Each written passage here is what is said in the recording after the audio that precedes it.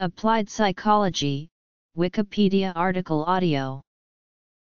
Applied psychology is the use of psychological methods and findings of scientific psychology to solve practical problems of human and animal behavior and experience. Mental health, organizational psychology, business management, education, health, product design, ergonomics, and law are just a few of the areas that have been influenced by the application of psychological principles and findings. Some of the areas of applied psychology include clinical psychology, counseling psychology, evolutionary psychology, industrial and organizational psychology, legal psychology, neuropsychology, occupational health psychology, human factors, forensic psychology, engineering psychology, school psychology, sports psychology, traffic psychology, community psychology, medical psychology. In addition, a number of specialized areas in the general field of psychology have applied branches.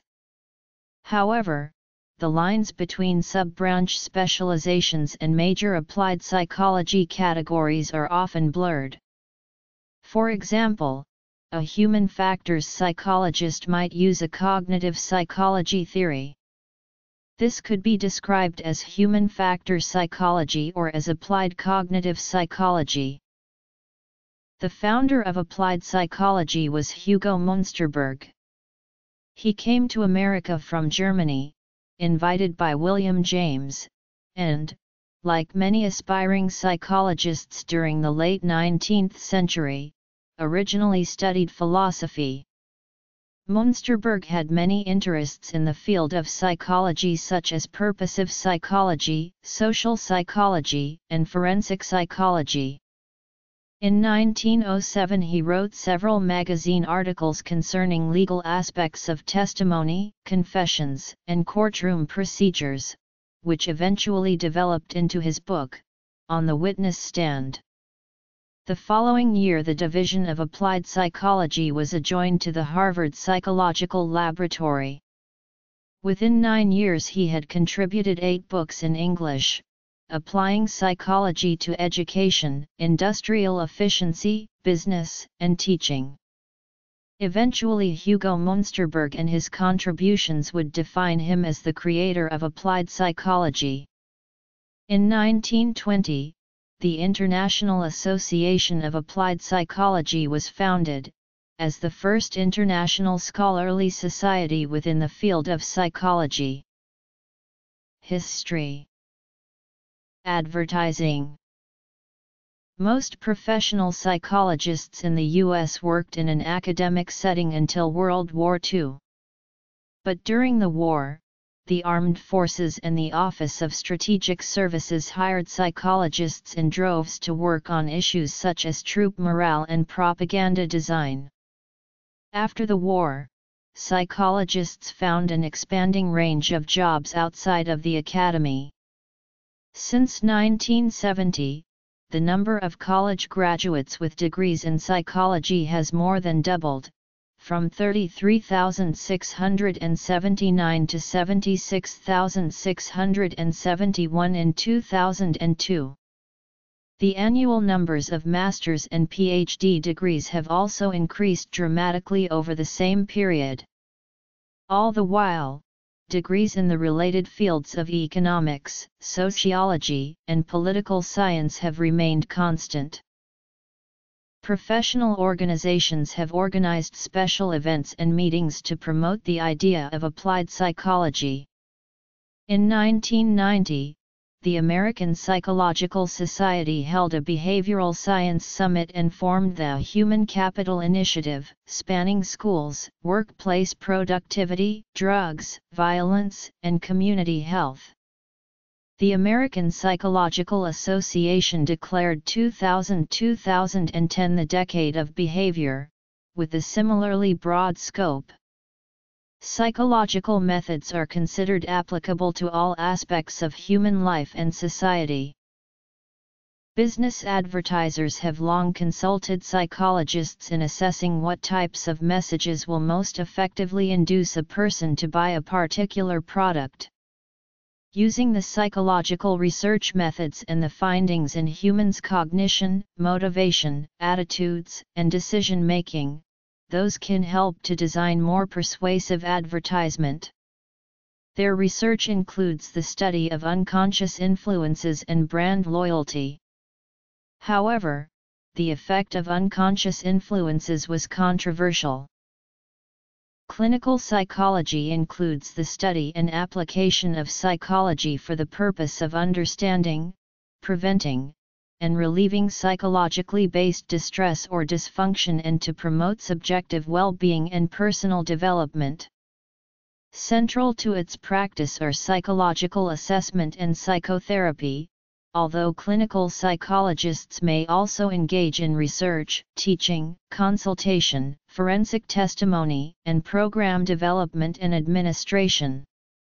Some clinical psychologists may focus on the clinical management of patients with brain injury. This area is known as clinical neuropsychology. In many countries, clinical psychology is a regulated mental health profession.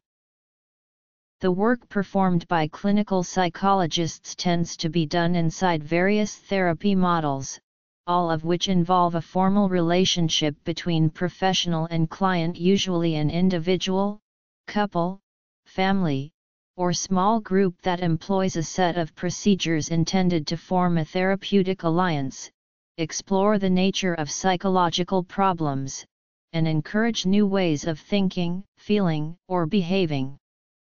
The four major perspectives are psychodynamic, cognitive behavioral, existential humanistic, and systems or family therapy.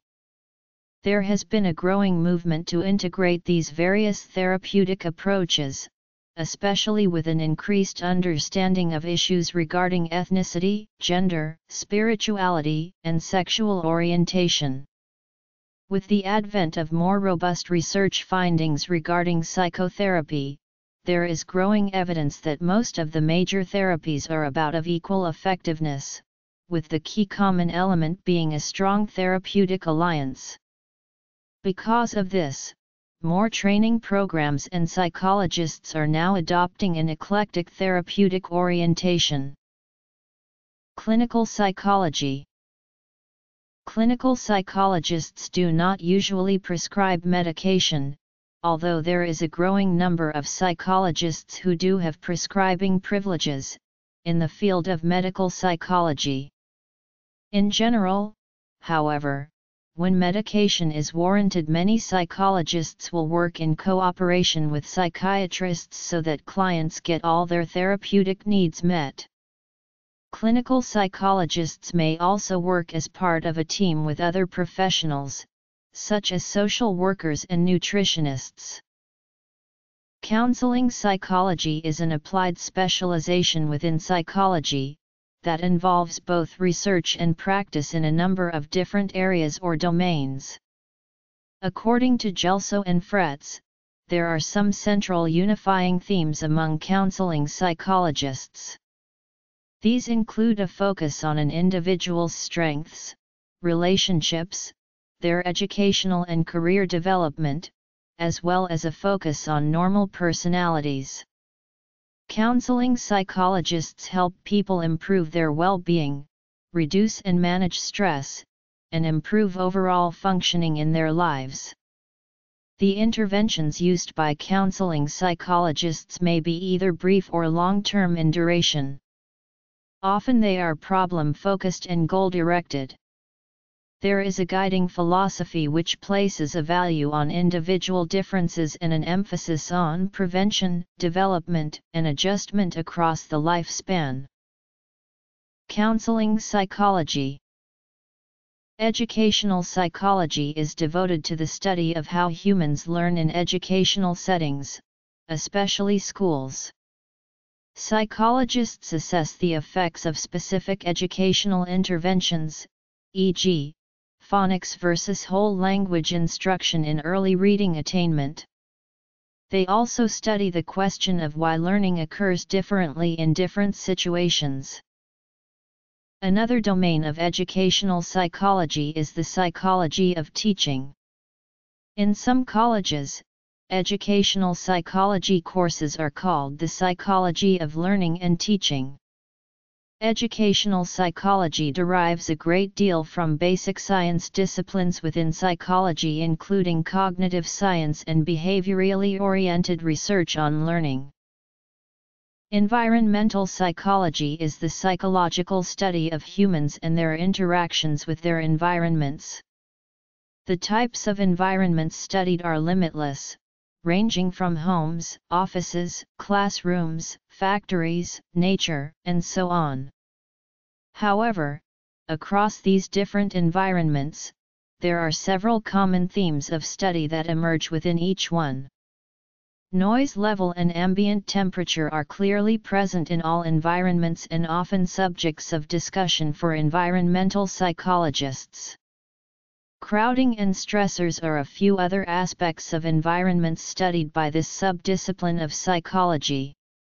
When examining a particular environment, environmental psychology looks at the goals and purposes of the people in the using the environment, and tries to determine how well the environment is suiting the needs of the people using it.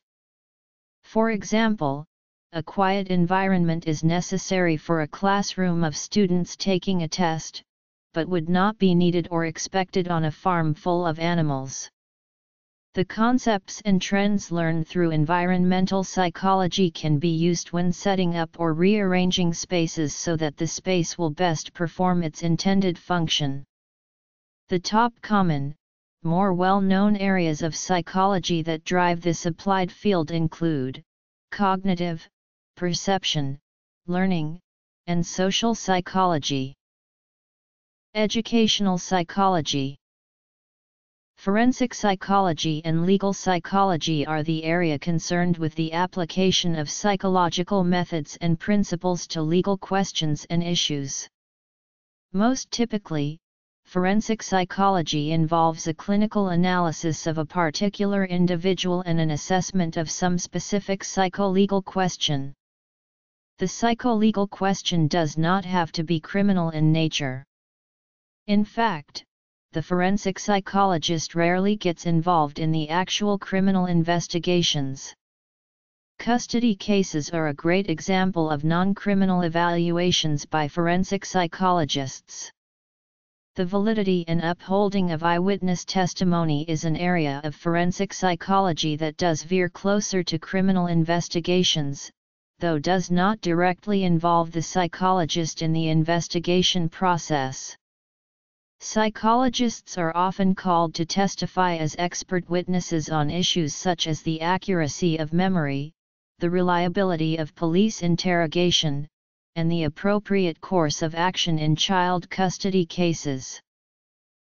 Environmental psychology Legal psychology refers to any application of psychological principles, methods, or understanding to legal questions or issues. In addition to the applied practices, legal psychology also includes academic or empirical research on topics involving the relationship of law to human mental processes and behavior. It is interesting to note the inherent differences that arise when placing psychology in the legal context.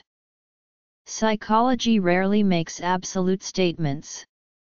Instead, psychologists traffic in the terms like level of confidence, percentages, and significance. Legal matters, on the other hand, look for absolutes, guilty or not guilty. This makes for a sticky union between psychology and the legal system. Some universities operate dual JD/PhD programs focusing on the intersection of these two areas. Forensic Psychology and Legal Psychology The Committee on Legal Issues of the American Psychological Association is known to file amicus curiae briefs, as applications of psychological knowledge to high-profile court cases. A related field, police psychology, involves consultation with police departments and participation in police training. Health and Medicine Health psychology concerns itself with understanding how biology, behavior, and social context influence health and illness. Health psychologists generally work alongside other medical professionals in clinical settings, although many also teach and conduct research. Although its early beginnings can be traced to the kindred field of clinical psychology, four different approaches to health psychology have been defined clinical, public health, community, and critical health psychology. Health psychologists aim to change health behaviors for the dual purpose of helping people stay healthy and helping patients adhere to disease treatment regimens. The focus of health psychologists tend to center on the health crisis facing the Western world, particularly in the US. Cognitive behavioral therapy and behavior modification are techniques often employed by health psychologists. Psychologists also study patients' compliance with their doctor's orders. Health psychologists view a person's mental condition as heavily related to their physical condition. An important concept in this field is stress, a mental phenomenon with well-known consequences for physical health. Medical psychology involves the application of a range of psychological principles, theories, and findings applied to the effective management of physical and mental disorders to improve the psychological and physical health of the patient. The American Psychological Association defines medical psychology as the branch of psychology that integrates somatic and psychotherapeutic modalities, into the management of mental illness, health rehabilitation, and emotional, cognitive, behavioral and substance use disorders. According to Muse and Moore, the medical psychologist's contributions in the areas of psychopharmacology which sets it apart from other of psychotherapy and psychotherapists. Occupational health psychology is a relatively new discipline that emerged from the confluence of health psychology, industrial and organizational psychology, and occupational health. OHP has its own journals and professional organizations. The field is concerned with identifying psychosocial characteristics of workplaces that give rise to health-related problems in people who work. These problems can involve physical health or mental health. Examples of psychosocial characteristics of workplaces that OHP has investigated include amount of decision latitude a worker can exercise and the supportiveness of supervisors. OHP is also concerned with the development and implementation of interventions that can prevent or ameliorate work-related health problems.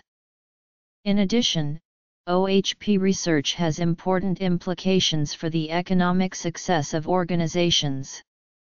Other research areas of concern to OHP include workplace incivility and violence, work-home carryover, unemployment and downsizing, and workplace safety and accident prevention.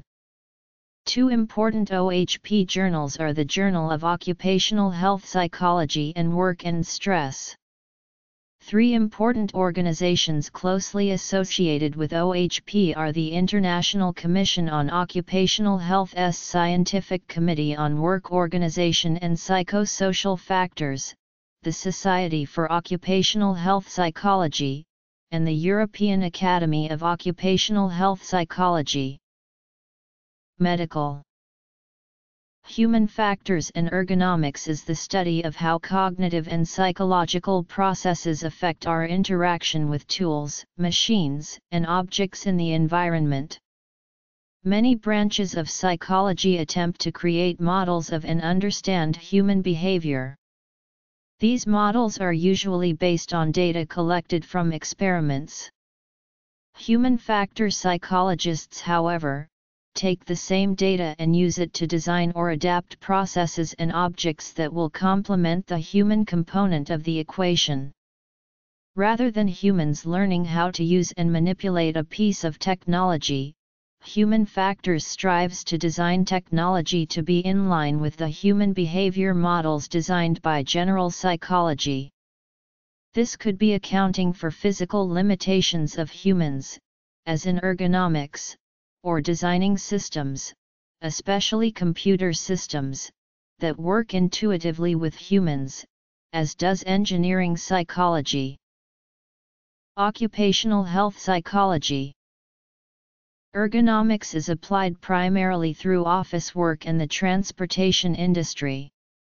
Psychologists here take into account the physical limitations of the human body and attempt to reduce fatigue and stress by designing products and systems that work within the natural limitations of the human body.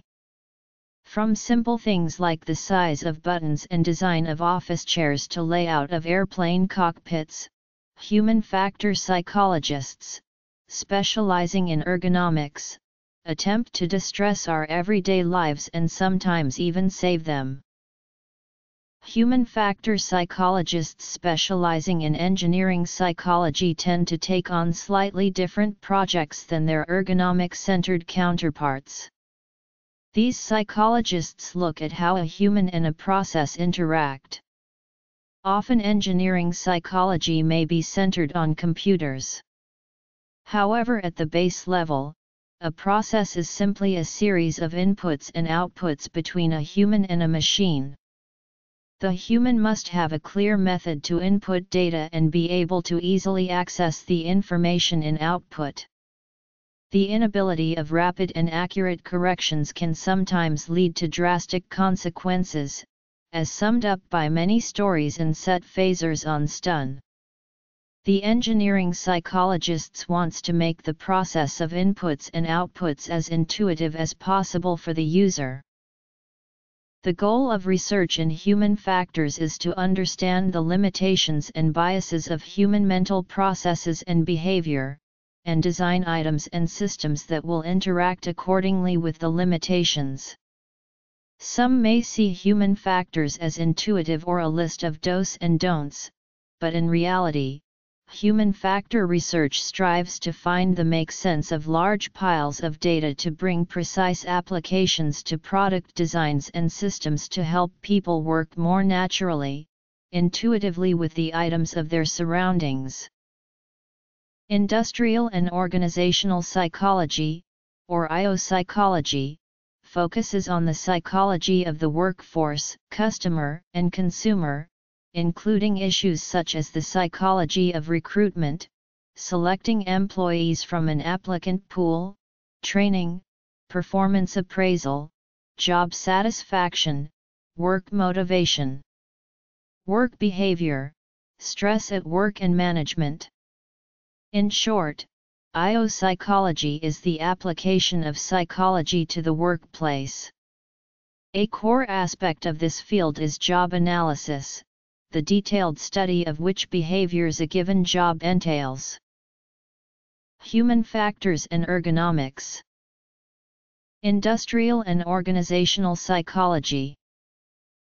School psychology. Social change. Though the name of the title Industrial Organizational Psychology implies two split disciplines being chained together, it is near impossible to have one half without the other. If asked to generally define the differences, industrial psychology focuses more on the human resources aspects of the field, and organizational psychology focuses more on the personal interactions of the employees. When applying these principles however, they are not easily broken apart. For example, when developing requirements for a new job position, the recruiters are looking for an applicant with strong communication skills in multiple areas. The developing of the position requirements falls under the industrial psychology, human resource type work and the requirement of communication skills is related to how the employee with interacts with coworkers.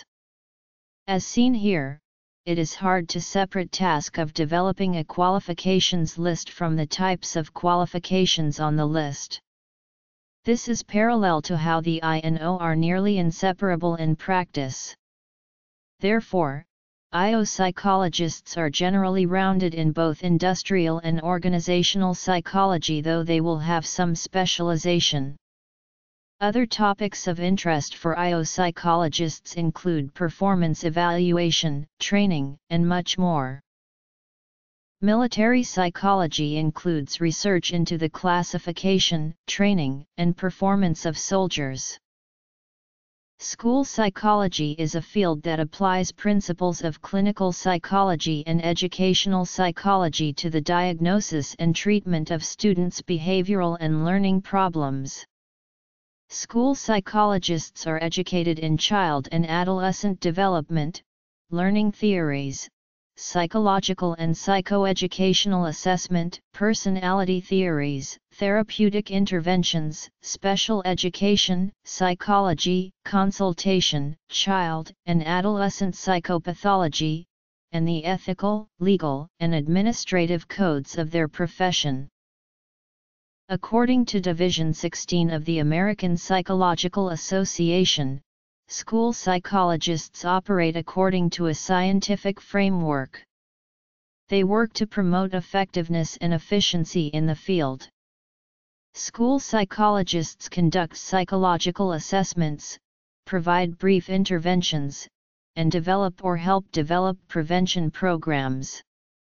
Additionally, they evaluate services with special focus on developmental processes of children within the school system, and other systems, such as families. School psychologists consult with teachers, parents, and school personnel about learning, behavioral, social, and emotional problems. They may teach lessons on parenting skills, learning strategies, and other skills related to school mental health. In addition, they explain test results to parents and students. They provide individual, group, and in some cases family counseling. School psychologists are actively involved in district and school crisis intervention teams. They also supervise graduate students in school psychology. School psychologists in many districts provide professional development to teachers and other school personnel on topics such as positive behavior intervention plans and achievement tests.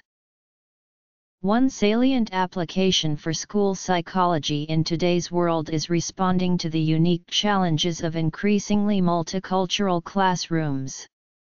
For example, psychologists can contribute insight about the differences between individualistic and collectivistic cultures. School psychologists are influential within the school system and are frequently consulted to solve problems. Practitioners should be able to provide consultation and collaborate with other members of the educational community and confidently make decisions based on empirical research, Psychologists have been employed to promote green behavior, i.e. sustainable development. In this case, their goal is behavior modification, through strategies such as social marketing. Tactics include education, disseminating information, organizing social movements, passing laws, and altering taxes to influence decisions. Sport psychology Psychology has been applied on a world scale with the aim of population control. For example, one strategy towards television programming combines social models in a soap opera with informational messages during advertising time. This strategy successfully increased women's enrollment at family planning clinics in Mexico. The programming which has been deployed around the world by Population Communications International and the Population Media Center combines family planning messages with representations of female education and literacy. Sport psychology is a specialization within psychology that seeks to understand psychological slash mental factors that affect performance in sports, physical activity, and exercise and apply these to enhance individual and team performance. The sport psychology approach differs from the coaches and players' perspective. Coaches tend to narrow their focus and energy towards the end goal. They are concerned with the actions that lead to the win, as opposed to the sport psychologist who tries to focus the player's thoughts on just achieving the win. Sport psychology trains players mentally to prepare them, whereas coaches tend to focus mostly on physical training. Sport psychology deals with increasing performance by managing emotions and minimizing the psychological effects of injury and poor performance. Some of the most important skills taught are goal setting, relaxation, visualization, self-talk awareness and control, concentration, using rituals, attribution training, and periodization. The principles and theories may be applied to any human movement or performance tasks. Usually, experts recommend that students be trained in both kinesiology and counseling. Traffic psychology is an applied discipline within psychology that looks at the relationship between psychological processes and cognitions and the actual behavior of road users. In general, traffic psychologists attempt to apply these principles and research findings, in order to provide solutions to problems such as traffic mobility and congestion, road accidents, speeding. Research psychologists also are involved with the education and the motivation of road users. Traffic psychology. Additional areas. Sources